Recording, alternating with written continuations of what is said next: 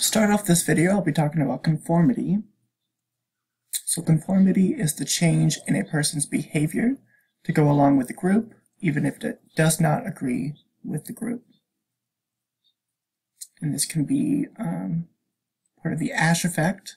So the Asch effect is the influence of the group majority on an individual's judgment. For example, in a classic uh, study of a line test, um, a group of people who were in on the study and one person who was the participant was trying to match the x line to one of these lines. And the people who were in on the study or experiments said that this line, this x line, mostly matched uh, the b line, which you could obviously tell that it's much shorter. And so the power of conformity influenced the participant to agree with the other people that this line was in fact the same line as x, whereas in reality the correct answer was c. And so the participant um, changed their own behavior to go along with the group, even if they didn't agree with the group.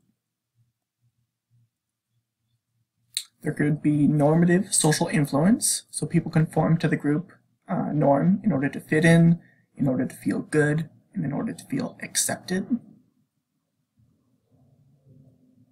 There was also informational social influence, whereas people conform because they believe the group is competent or has the correct information when the task or situation is more ambiguous.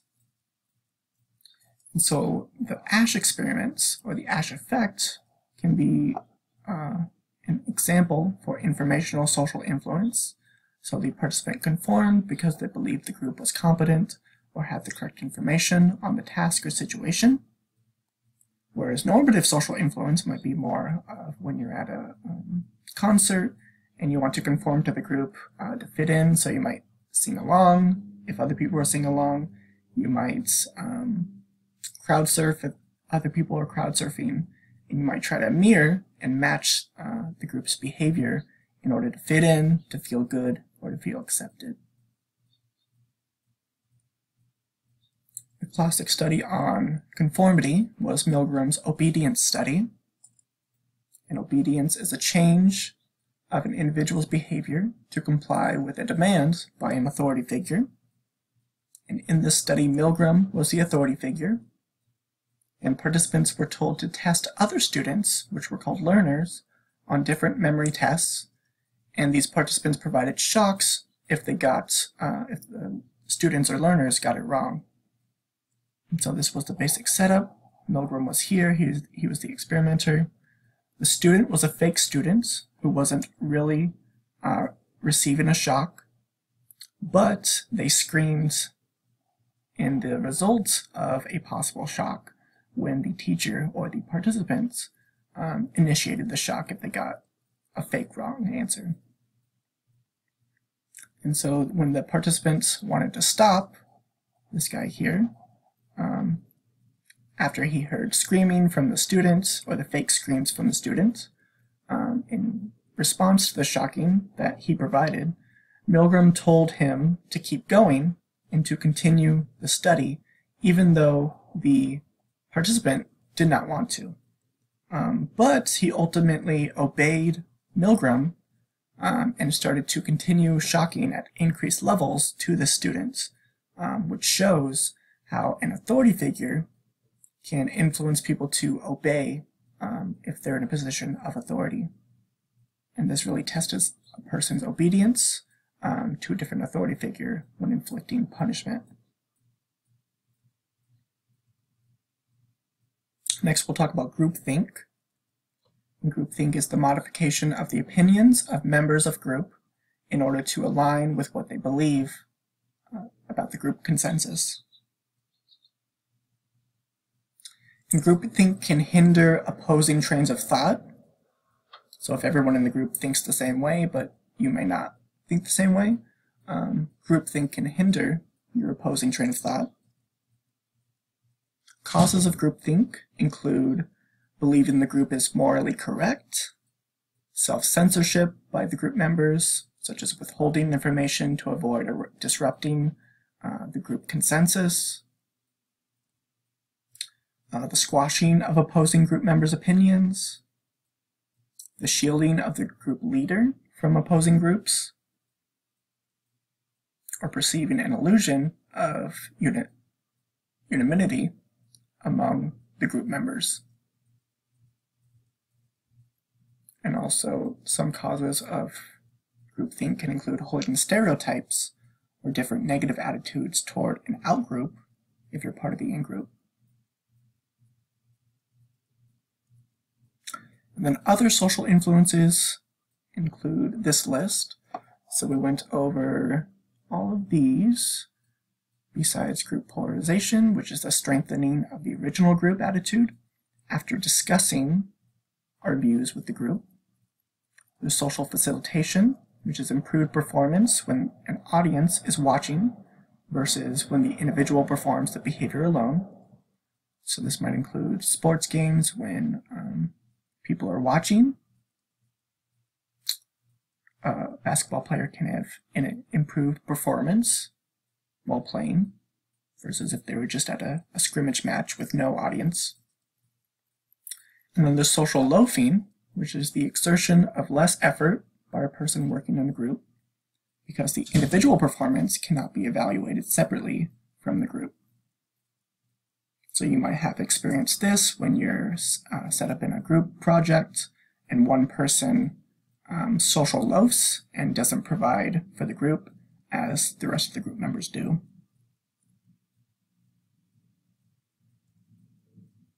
Next, I'm going to shift our gears toward prejudice. And, uh, stereotypes include a specific belief or an assumption about individuals based solely on their membership in a group, regardless of their internal individual characteristics. Prejudice is a negative attitude and feeling toward an individual based solely on one's membership in a social group. And discrimination is a negative action toward an individual as a result of one's membership in a particular group. So the function of a stereotype includes different cognitive thoughts about people, and the connection um, is the overgeneralized beliefs about the group of people may lead to prejudice.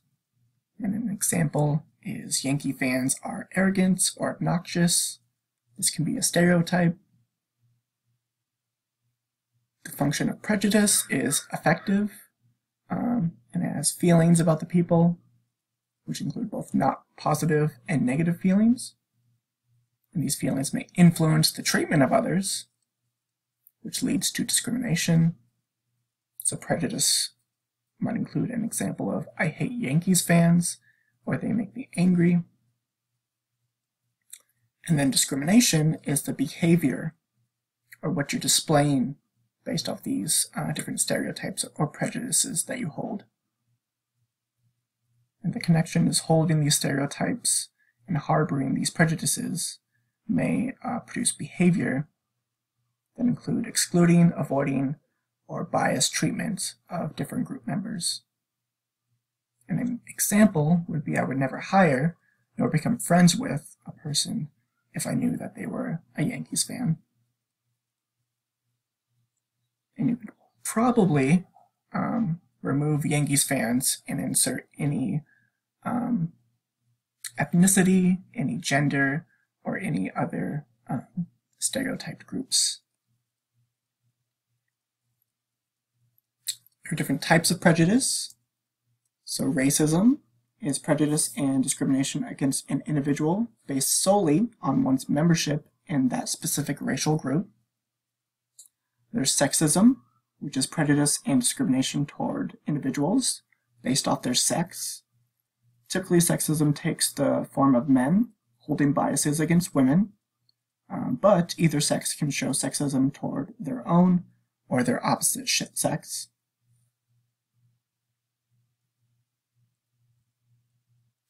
People often form judgments and hold expectations about people based off their age, and this can be called ageism.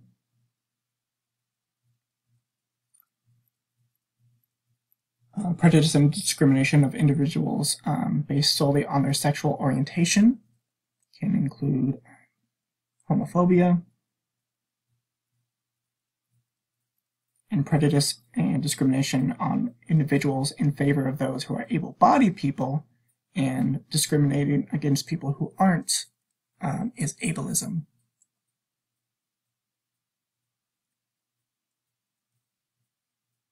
Next, I'm going to transition to aggression. And aggression is when someone seeks to cause harm or pain to another person. And this can include hostile aggression, which one is motivated by feelings of anger with intent to cause pain. Instrumental aggression, in which one is motivated to achieve a goal um, and doesn't necessarily involve the intent to cause pain, only to achieve that goal.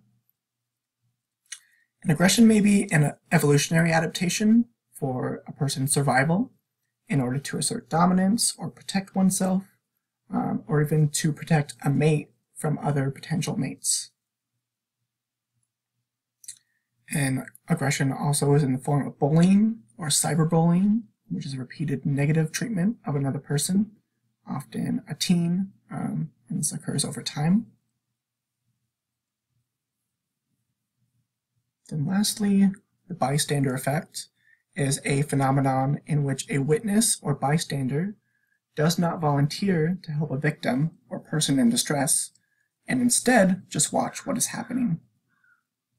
This is often because of a diffusion of responsibility, which is the tendency for no one in a group to help, because the responsibility to help is spread throughout the group. So let's say you see a car on the road and you might feel a desire to help, um, but through diffusion of responsibility and the bystander effect, we might think that the responsibility is spread throughout the other drivers. Uh, so we might think that someone else will call 911, someone else will pull over, um, so I shouldn't have to worry about it.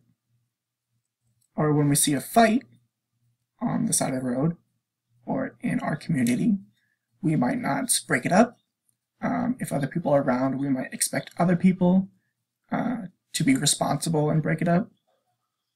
And this includes the diffusion of responsibility and having that bystander effect.